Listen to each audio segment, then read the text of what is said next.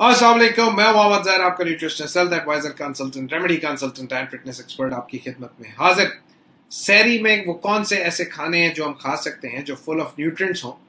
Through out the day energetic भी रहें और थके ना और प्यास भी ना लगे।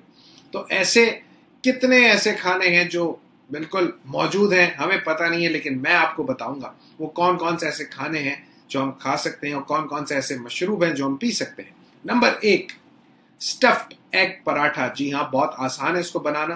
पराठे की जब मैं बात कर रहा हूँ तो यहाँ मैं बात कर रहा हूँ होल व्हीट पराठे की। उसके साथ साथ स्टफ्ड एग्स कैसे बनाने हैं? इसके अंदर आप इस्तेमाल कर सकते हैं दो अंडे। उसके साथ साथ ऑयल का इस्तेमाल होगा, नमक का इस्तेमाल होगा ब्लैक पेपर का इस्तेमाल होगा रेड चिली पाउडर का इस्तेमाल होगा ऑनियन का इस्तेमाल होगा और चॉप्ड कॉरिएंडर का इस्तेमाल होगा। इंग्रेडिएंट्स मैंने आपको बता दिए हैं, बनाना आपको आता है, बहुत आसान है। बहुत आसानी से बन जाएगा। फुल ऑफ़ न्यूट्रिएंट्स है, ज़रूर इस्तेमाल कीजिएगा।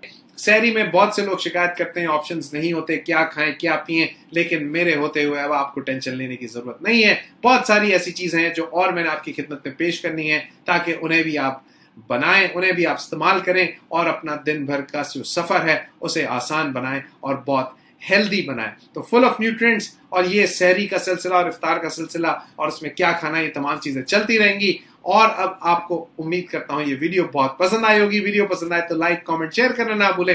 मेरे चैनल को सब्सक्राइब करना ना भूले। और मजीद आगे लोगों तक वीडियोस पहुंचाना ना भूले। जितने लोग वीडियोस देखेंगे, उतना उनको फ़ायदा पहुंचेगा और वो आपको दुआएँ देंगे। तो और मजीद मज़े मज़े की रेमेडीज वीडियोस इंफॉर्मेशन लेके फिर आपकी खिदमत में हाजिर होऊँगा अपना बहुत ख्याल रखिएगा। जजाक अल्लाह खैर। लव यू अल्लाह हाफिज।